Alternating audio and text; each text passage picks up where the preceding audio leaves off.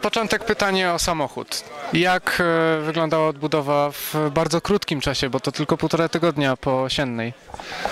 Powiedzmy, że samochód odbudowany jest w 70%, brakuje nam jeszcze dopracowania zbieżności, no i to był chyba największy problem yy, dzisiejszego dnia. No, musimy jeszcze, no, brakło nam dnia, żeby to wszystko zagrało. A teraz już banowce. Jesteśmy po pierwszym dniu. Jak dzisiaj wrażenia z trasy? Jak czujesz się na trasie? Super trasa, chyba najlepsza, jaką dotychczas jechałem.